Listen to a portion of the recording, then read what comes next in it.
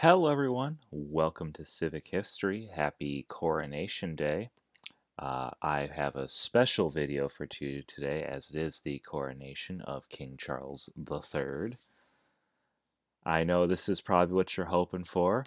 A long-winded video on the protectorate of Great Britain, of sorry, of Scotland, England, and Wales, and Ireland. But unfortunately not, we're not going to be talking about Ollie Cromwell and the protectorate. We will instead be talking about King William III and King William IV because they both actually have something in common with the new king.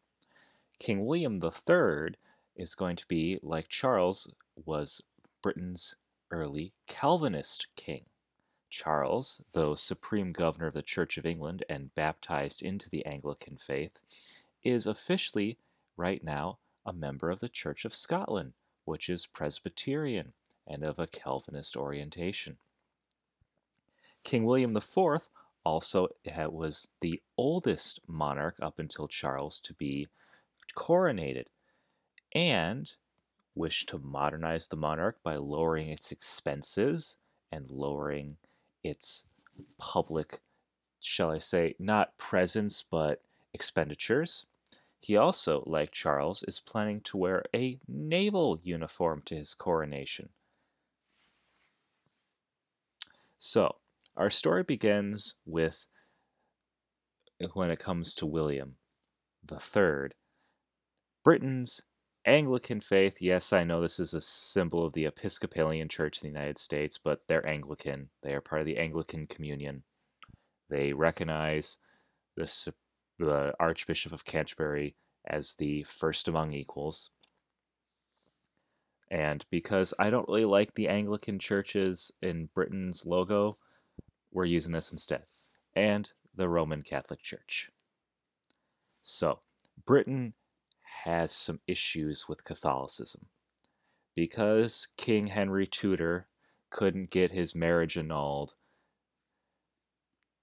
he and Cardinal Wolsey just decided they were done with the church, which is fine. But many centuries later, Britain would have various red scares with Catholicism. They were finding papists around every corner. As if you watch the Philosophy Tube video, there's her great line of Joe McCarthy's got a list of a thousand Catholics working.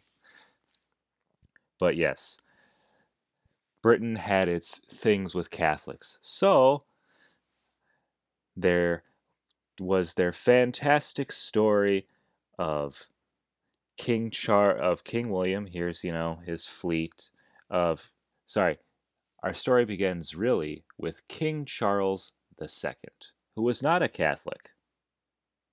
Not a Catholic, though he was seen as Catholic sympathetic because he spent a lot of time with France, but eh, and other reasons because his mother was Catholic, but mostly he was fine. Mostly. There were, of course, people in the church, in the parliament who were very upset about the idea of having, you know, a new monarch. There are still a lot of Republicans left over from Ollie Cromwell's Commonwealth. But yes. However, King James second and fifth of Scotland, we're just going to call him King James II, was a Catholic.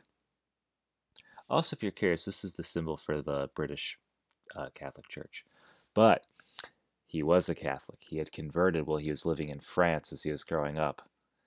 He, not only was he a Catholic, he was even worse, a Catholic convert. And if you spent any time around Twitter, you know how they are.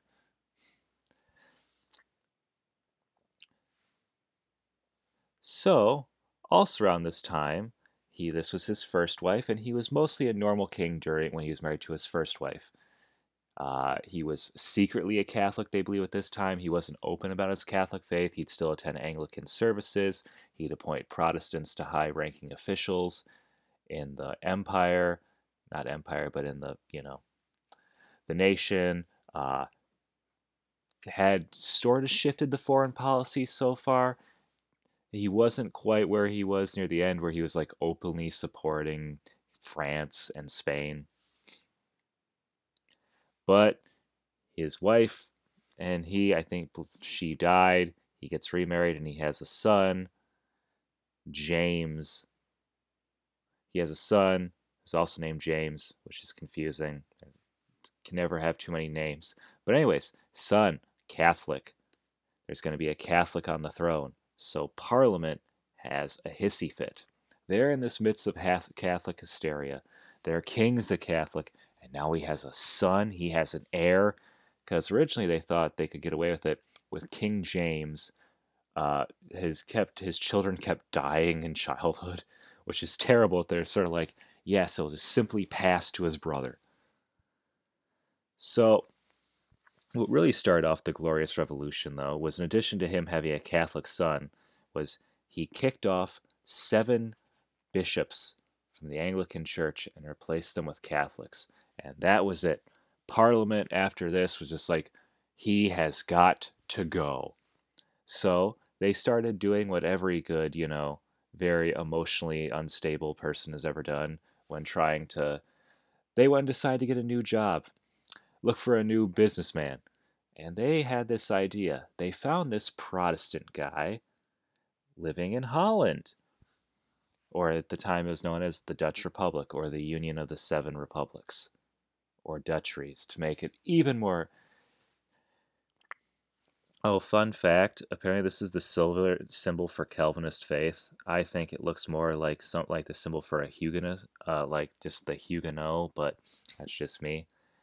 So they knew that there was this gentleman who was married to, believe, the cousin the British royal family at this time has a very weird family tree, even though it looks more like a hedge.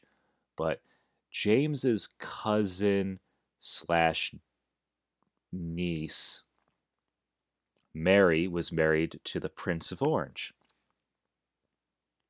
who was the Prince of Holland, and also like the Lord Protector of the stadtholder was a weird position. It's very hard to explain, but it's like in between a monarch and a eternal not king but prince who runs a republic. Uh, he was married. See, there's William of Orange. There's his wife Mary, and the most Protestant Protestants. So Parliament had an idea. What if we sent him like a letter that said, "Do you like me?" And of course, he wrote back, Yeah, why? Well, they're like, Hey, bro, what if we just asked you to be our king? Huh? So they literally did that.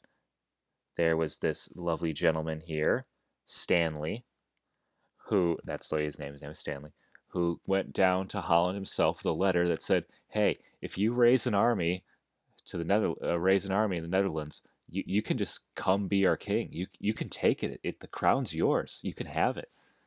And of course, being offered the thing of like, and they're like, "We'll think you. We think you'd be so great at the job." And of course, he, you know, being the good, ambitious man, was like, "You know, I would make a good king of Great Britain."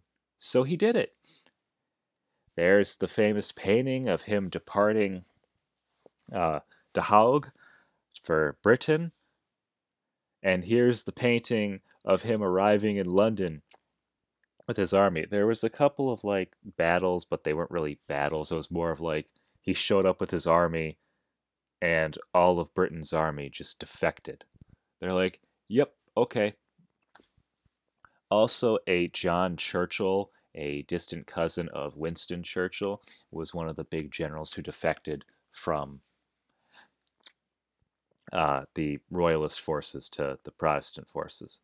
Also, here's a depiction of William and Mary and their good Protestant Protestantisms, all all happy. So yes, he just basically said, "I'd like to be king. I I'm king now," and everyone there agreed. And there's this coronation where they were crowned co-monarchs. William did have some later in his reign, after his wife Mary died, some issues with Parliament, but a lot of that became for the thing is like he wasn't British, he was Dutch. He was also trying to. This is around the time if you listen to the podcast Hell on Earth, um, great podcast by the way. You should listen to it. This is where they talk about he's trying to force the market economy in Britain, and a lot of the traditionalists were not a big fan of that. Well, anyways, let's shift gears from court, from overthrowing Catholic monarchs to old monarchs who people weren't really that excited for. So here we have William IV. This was the king in between King George IV and Queen Victoria. Uh, he lived famously at what's known as the Royal Pavilion, which is a palace on the Royal Gardens, and it's in Brighton. It's where he was living when he was served before with his before well his brother was king. It looks very pretty. It looks very Indian inspired. Uh, but his brother died, and he was made king at the ripe old age of 65 or so. I believe it was 65. Might have been 68. One of those two ages. Anyways, he was the oldest king until Charles came along. Uh, also, like Charles, he was famous for being very political. He was known to have a great sympathy towards the Whig Party. Tried to mo- he was a big fan of modernizing and toning down the monarchy. He actually was quite interesting. He fired all the French chefs at some of the royal palaces, which was very popular with the British people, but not people who were staying in the royal palaces because then they had British chefs all of a sudden. He also fired a lot of the German uh, like secretaries, which was very funny too because uh, William's last name was Hanover, which is famously not a British name. Uh, this was the prime minister at that time, a Whiggish liberal. Uh, you know, here's the depiction of him being the liberal king. He also, around this time, was the second person to ride in the golden carriage to the coronation. Of course, as all these coronations were, pre- presided over by the Archbishop. I can't remember who the Archbishop was at this time, but here's a picture of him. I'm sure someone in the comments will tell me who he was. But yes, here is a little a ticket to the coronation of King William IV and Queen Adelaide. Uh, I don't think that's a number. I was curious if they had a price on there. Um, it was known to be a toned down thing. Didn't have as many people. Uh, he didn't wear the stupid outfit with pantaloons, which Charles isn't either. He wore the an admiral's uniform, which they did say is kind of a pain because you have to rub oil on your chest. I know that's weird, but it's I swear that's something they do. They have the priest come, not priest, it's a reverend, come and rub holy olive oil on your chest, and that somehow signifies that you're king. But they had all the good songs of you know, Zadok the priest and all that good stuff. And here's a little puzzle draw painting of the coronation of Queen Adelaide and King William IV. So, anyways, I hope the coronation was good. I probably will not be awake early enough to really watch it. I hope you have a wonderful day. Please like, comment, subscribe, and if you're feeling generous, share with a friend. A friend. Bye. See you again soon.